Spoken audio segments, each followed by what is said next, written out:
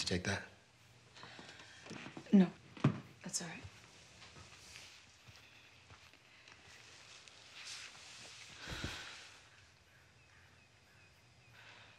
I'm so sorry, Spencer. You were right. I am confused. I never meant. I know.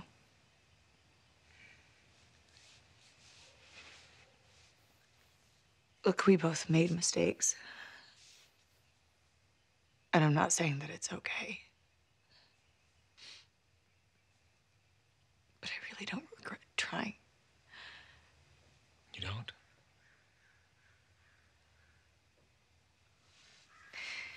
When Toby and I broke up, I didn't date anyone for a really, really long time. Nothing serious, anyways, you know, it's just nothing ever stuck. Nothing ever measured up. It was like my. My heart had just stopped. And I felt that way for a really long time. Until you.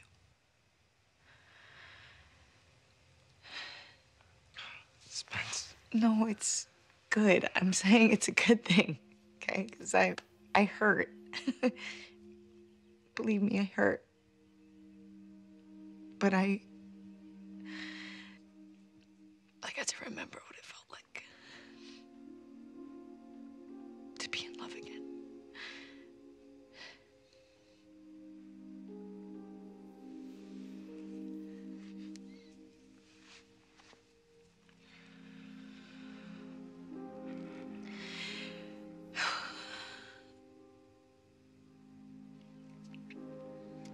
should probably go.